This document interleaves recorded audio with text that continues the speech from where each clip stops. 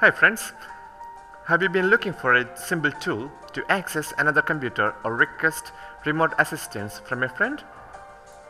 Then here is a solution for you. That is Chrome Remote Desktop. With this plugin, you can easily access and control another computer from yours. Let's now install it. Go to the Chrome Web Store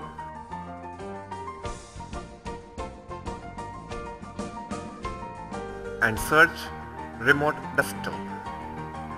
Find the Chrome Remote Desktop from the search results. And then click on Add to Chrome. Go ahead when asked for confirmation. Wait a while. And now you have successfully installed the plugin into your computer.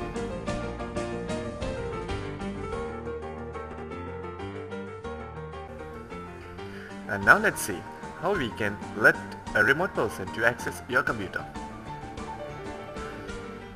Click on the Chrome Remote Desktop icon and now you will be provided with the options to access another computer or share your computer.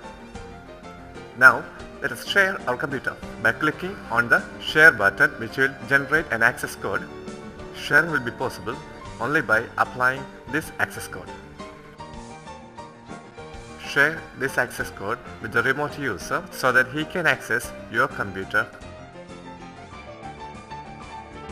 You can absolutely do anything and everything on the other computer using yours.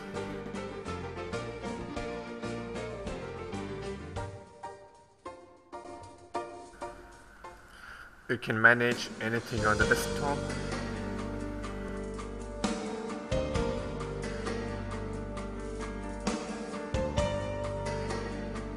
delete anything, create a new file, new folder, arrange it however you need it.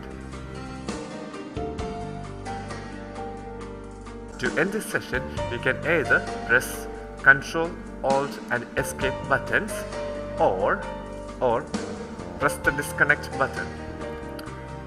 Is it not very simple for you? Thanks for watching.